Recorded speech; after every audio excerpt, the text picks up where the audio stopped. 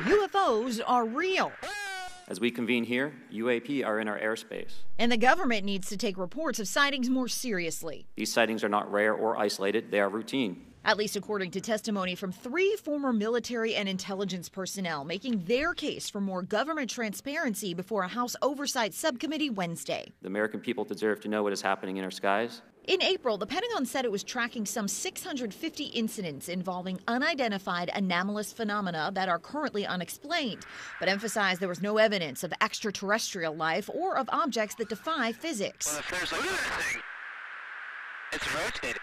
But former Navy fighter pilot Ryan Graves and former Navy Commander David Fravor say they have seen UAPs up close and personal performing unexplainable maneuvers. We have nothing that can stop in midair and go the other direction. And believe they may pose a threat to the safety of pilots and the country. If UAP are foreign drones, it is an urgent national security problem.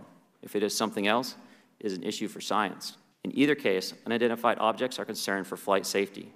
The hearing just the latest effort by Congress to find the truth and what it means for us here on Earth.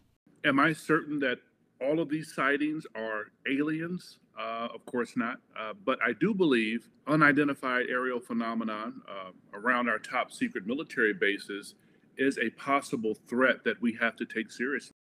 In Washington, I'm Karin Caifa.